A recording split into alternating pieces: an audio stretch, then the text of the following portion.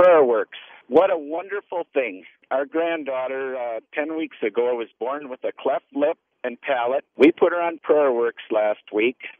She went in for surgery yesterday, and she came out of surgery just looking amazing. Just amazing. All the prayers and everything good that, that the Lord gives us, it's amazing.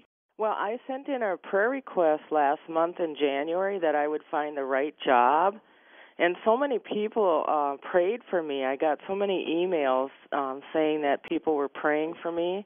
And I just want to thank the Lord today because um, I had an interview on Tuesday afternoon, and 115 people applied for the job. And um, I was one of 12 people that were interviewed, and I was the last one interviewed. And um, I got a call yesterday morning that I got the job, and I'm starting on Monday. And on the way to the interview, I prayed and I asked the Lord to give me the right words to speak and also that I would find favor with the people I interviewed with. And He answered my prayer. Just wanted to uh, let you guys know that since I have submitted my prayer request, I have received over 25 notices. It reminds me that there are people out there that are standing behind me like a cloud of witnesses.